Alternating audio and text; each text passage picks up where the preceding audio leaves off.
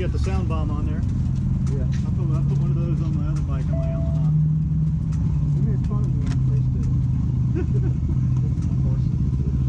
Jonathan, that's George. George. Jonathan, Jonathan, meet man. What's your color, Dave? I happen to have this the bike, so. Nice, it's fine. Harrison, you would love that. Bill Schilling's the air's Yeah. doing this number like, woo! Yeah, I'm, it, it works reasonably well, but uh, I've got this uh, adjustable little button thing, so this kind of wraps around the neck a little bit. This does pretty good most of the time, but but so I ended up taking out my thermal liner. It's actually not bad. Starting to warm up. Fingers gonna be Yeah.